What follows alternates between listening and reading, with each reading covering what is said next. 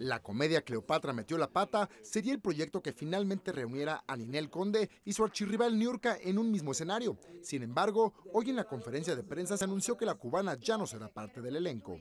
Pero, ¿qué opina al respecto el bombón asesino? Porque hay incluso quien asegura que ella fue quien pidió que Niurka saliera. No, mana.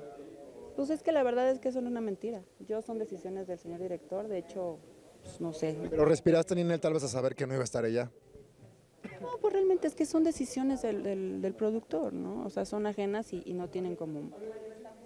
Digo, si uno es profesional y te toca alternar un escenario con, con un compañero que decide tu producción, pues bueno, no tienes por qué lo cierto es que Ninel sorprendió al asegurar que cuando Niurka aún pertenecía al proyecto, pudieron hablar y limar asperezas. Tuvimos la oportunidad de platicar y todo, y, pues creo que eso fue lo bueno dentro de, de, esta situación. Prefiero guardarme esa situación, pero pudimos platicar y pues afortunadamente ya. Y Germán Ortega, quien da la vida a la emperatriz egipcia Cleopatra, fue testigo de ello. Y créeme que los ensayos que, que estuvieron juntas, pues maravilloso. O sea, yo ni sabía que habían, con decir, yo no sabía que, que se habían peleado alguna vez o algo y este y todo cordial, te lo digo neta, ¿eh? se saludaban y todo normal, eh, hacíamos, este, interactuamos muchas veces juntos en una escena y, yo no vi nada raro.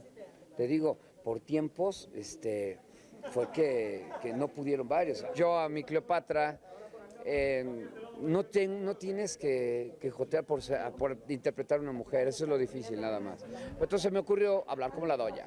Entonces todo lo voy a hablar así, mis queridos casquivanos, egipto, egiptualenses y así. Entonces, pues está padre el proyecto, nos, estamos divirtiendo mucho. ¿eh? La obra que estrenará el próximo 22 de octubre en el interior de la República también contará con la participación de Maribel Guardia, Cecilia Galeano, La Chupitos, Lizardo, Gustavo Murguía, Gabriel Soto y Carlos Espejel.